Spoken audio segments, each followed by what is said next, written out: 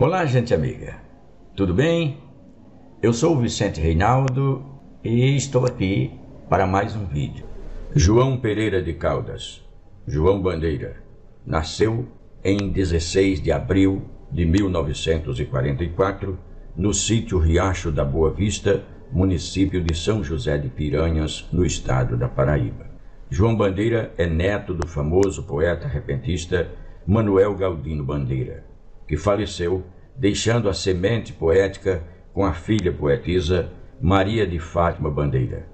João Bandeira iniciou a profissão de poeta repentista em março de 1961, na localidade onde nasceu e viveu durante anos. Trabalhou como agricultor até os 17 anos de idade. Em seguida, se transferiu da zona rural para a cidade, onde fundou programas de violeiros em Cajazeiras, na Paraíba, Crato, Ceará e Juazeiro do Norte, Ceará, onde reside há mais de 30 anos.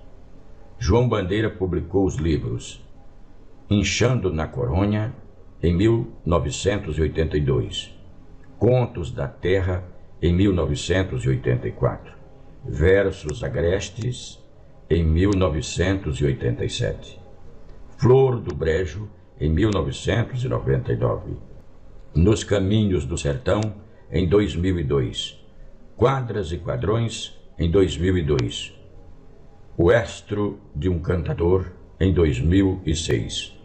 João Bandeira possui ainda muitos cordéis e poemas publicados em jornais, revistas e é presença também em filmes e documentários.